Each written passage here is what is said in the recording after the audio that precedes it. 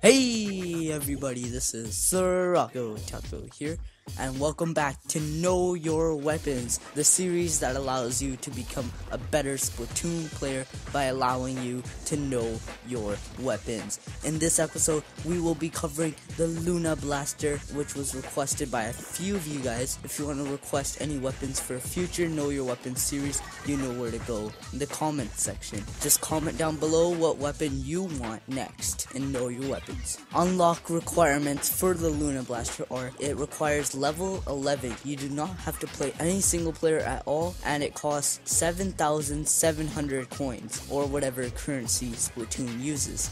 The set comes with the Luna Blaster, the Ink Mine, and the Inkzooka. The Ink Mine is pretty okay. It doesn't help the Luna Blaster very much in its weaknesses, but it builds on its strengths. The Inkzooka helps a lot with the Luna Blaster's various weaknesses and helps the Luna Blaster become better at long range scenarios and against long range weapons. Now it's time for stats.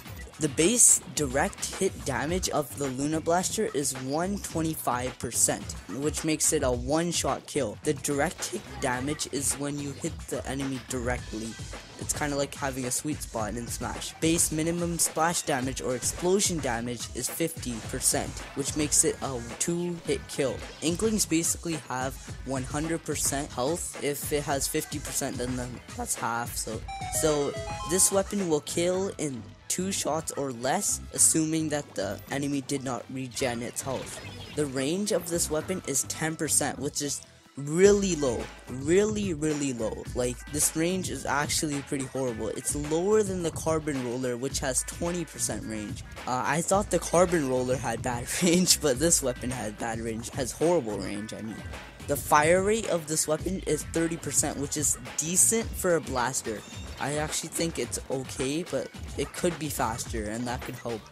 So if you have good accuracy, it doesn't really matter if your fire rate is bad, but if you have bad accuracy, then this could affect you a lot.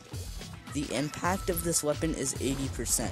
This weapon has a light special depletion, which lowers your special build-up by 40% of your special meter after getting splatted.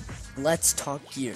You want damage up on this weapon so you can get kills easier and your ink mine has a bigger one hit kill radius.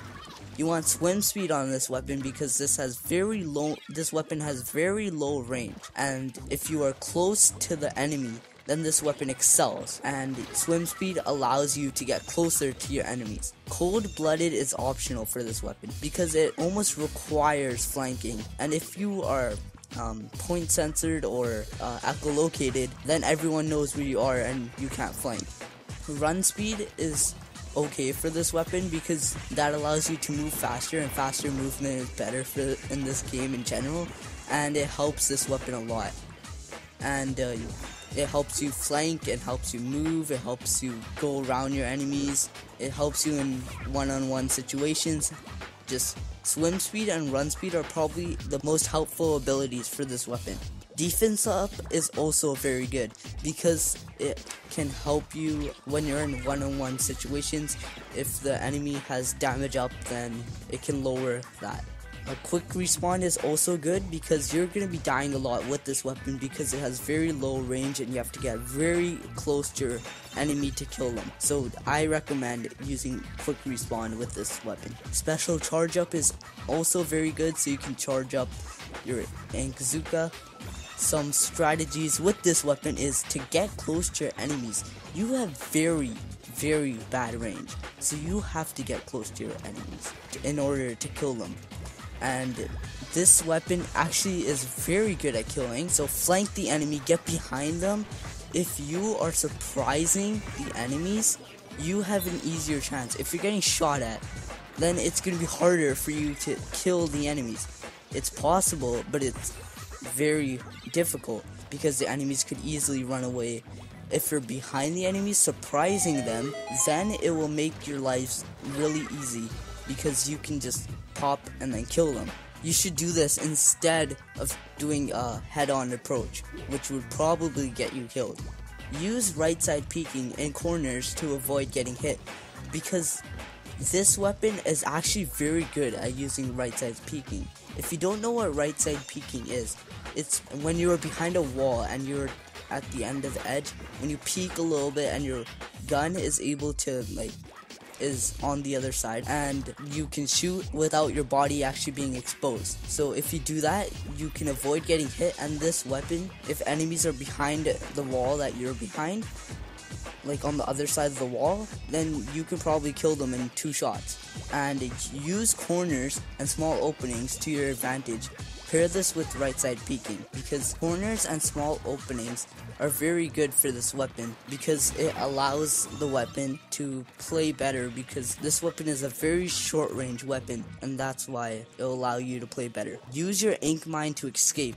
When attacked and placed in an unfavorable position, swim away and place an ink mine just in case your enemy chases you.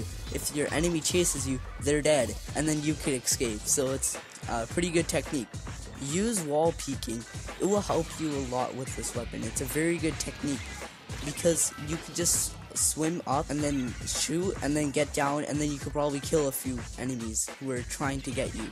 Uh, use the Inkzooka to attack enemies with longer range or uh, when you are spaced out from enemies. So the Inkzooka makes up for the lack of range that this weapon has. When the enemies are far away, you can use the Inkzooka and kill them rollers, except for the dynamo roller, are your only weapons that you have a favored match up because of the Luna Blaster has a decent rate of fire. Rollers such as the Krak-On roller don't have the greatest fire rate. So you should target rollers because you have a better chance of winning than them. Some counters for this weapon are Use the low range of the Luna Blaster to your advantage. Attack from far away and make the Luna Blaster approach you. If you allow the Luna Blaster to approach you, then you have the greatest chance to win the gunfight. If you know where the Luna Blaster is, then you you can aim at him and try to go farther away and kill and kill it. Chargers and other long-range weapons are the enemies of the Luna Blaster. The Luna Blaster is not very good at killing enemies at long range, but don't underestimate it because it can if it gets close to you, it can kill you. But just just make sure it doesn't get close to you. And overall, this weapon is an excellent weapon for tower control. The Luna Blaster can push the tower with its great damage output. You can place ink mines on the tower to help defend it.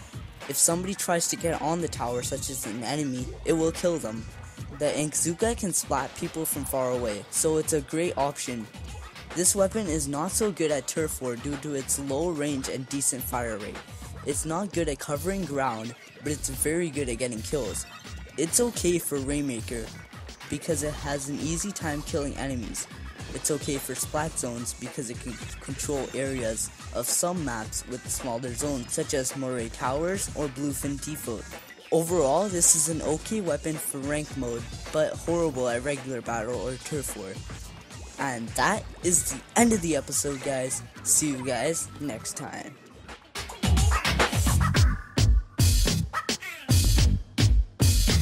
We'll